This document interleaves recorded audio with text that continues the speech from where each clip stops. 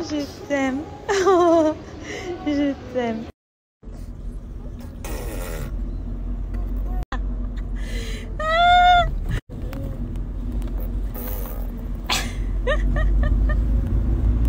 Coucou les mamans, euh, c'était pour vous raconter, là je sors de chez la pédiatre.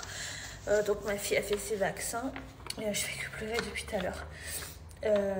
Ma pédiatre, elle est assez virulente et pour ceux qui n'avaient pas suivi, par exemple, au tout début, euh, quand ma fille, le, le- premier rendez-vous pédiatre, je testais avec la pédiatre, voir, euh, moi je savais que je suis pas pro-vaccin, et je voulais tâter le terrain avec elle, voir ce qu'elle en pensait, tout ça, et elle a été euh, hyper virulente et intransigeante, et elle m'a dit, moi si vous la faites pas vacciner, je fais un signalement, euh, vous savez ce que c'est un signalement C'est pour les genres comme si ma fille était maltraitée, alors que c'est le bébé le plus heureux du monde. Si tous les bébés étaient traités comme ma fille, ce serait juste le bonheur. Ouais, ouais, ouais, je vous jure, elle m'avait dit euh, dans la phrase, elle m'avait dit. euh, franchement, je ne saurais plus vous redire. Elle était tellement déjà pressée parce que c'est à la chaîne et, et elle était vraiment sur le sujet fermé. euh, en, en gros, elle, ouais, elle m'a dit comme ça. Elle m'a dit. euh, en gros, elle avait coupé court à la conversation parce que j'essayais de voir avec elle, tout ça. Qu'il y avait des vaccins qui servaient à rien. et en gros, tu sais, elle m'a coupé en me disant Moi, vous arrêtez. Si vous voulez pas faire les vaccins, vous changez de pédiatre. Moi, je fais un signalement et tout. Un signalement Enfin, je vous jure, elle m'avait dit ça. Faites gaffe, les mamans. Fermez d'esprit, ma pédiatre, sur ce coup-là. Bref, oui, je suis restée là-bas, je suis complètement teubée, je sais. Parce que, ben voilà, elle a suivi. euh, mis à part ça, j'imagine que c'est une bonne pédiatre. Ouais, je sais pas pourquoi je suis restée. Bref, c'est pas le sujet. Là, euh, elle a fait donc euh, ces vaccins, là, les fameux. euh, la totale, là. hein.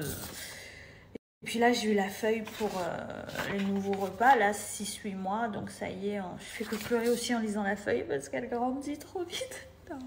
Je pense que ceux qui n'ont pas de bébé vont me dire Ah, tu fais du cinéma. Ceux qui ont des bébés, que vous voyez comme ça grandit, comme ça pousse, c'est comme...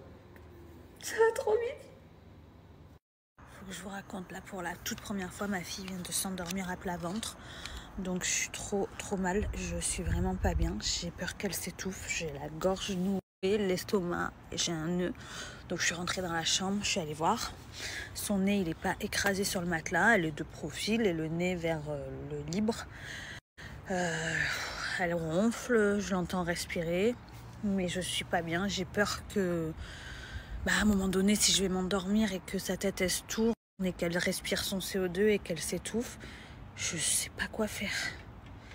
Je me dis, est-ce que maintenant ça va être sa nouvelle position pour dormir? Après, elle est assez tonique, elle est tonique, elle est musclée, donc elle peut bouger sa tête.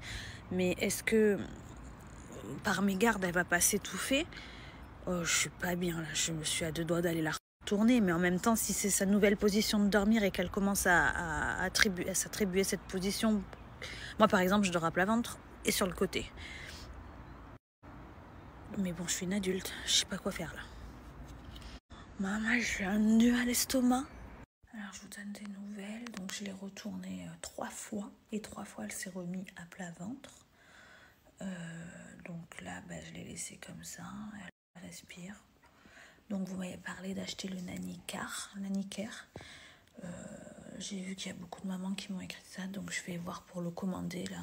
Je vais, voir le matelas qui, qui sonne si elle s'arrête de respirer. Ben, écoutez, ça y est, vu qu'elle dort à plat ventre, là, elle bouge. Mais moi, je ne vais pas dormir de la nuit. hein, je vous annonce, c'est parti pour une nuit blanche. Le soleil vient de se lever. Et je t'aime. que quelqu'un essaye